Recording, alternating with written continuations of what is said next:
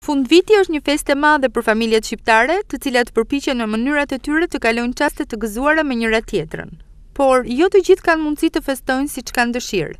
Pamjet e vëna në fokusin e kamerës sonë tregojnë një gjendje të mjerueshme. Bëhet fjalë për dy familje të cilat banojnë në periferi të qytetit të Durrësit, jo më larg se tre kilometra nga qendra. Fëmijët e tyre luajnë bashkë dhe mjerimin dashur-padashur e ndajnë po bashkë. Rosalinda, më e madhja prej fëmijëve, tregon për mikrofonin tonë. Viti i ri dua që të më sjellë gjëra të mira dhe që të kaloj mirë. Po. Shkon në shkollë ti? Po. Në cilën klasë? Në klasë të pestë. Po në shkollë çfarë notash merr? Mëson apo s'të pëlqen? Nganjëherë e kam pak si të vështirë të shkoj, kurse ditë të tjera shkoj. Keni uruar ju njëri tjetrin? Për vitin e ri me shokët me shoqet e klasës? Po, kur marrëm pushimet, po. Çfarë të kanë uruar? Kalofsh një vit të ri sa më të mbarë, edhe po, gjë tjetër. Po çfarë ju uron të gjithëve për vitin e ri?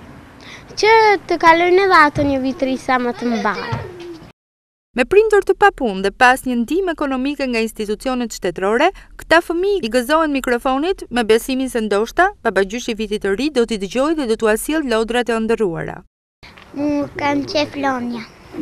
Çfarë për shembull, një kukull të bukur? Po. Për ty? Një fadromë. Një kukull. Për ty? Një kukull. Dhe ti ç'do ti një kukull? Kuka. Dhurata. Lojna, ushqime. Varfëria është ulur këmbëkryq në këto familje, e megjithatë, ato vazhdojnë të shpresojnë se ndoshta, të paktën në këtë prag festash, dikush do të kujtohet për ta.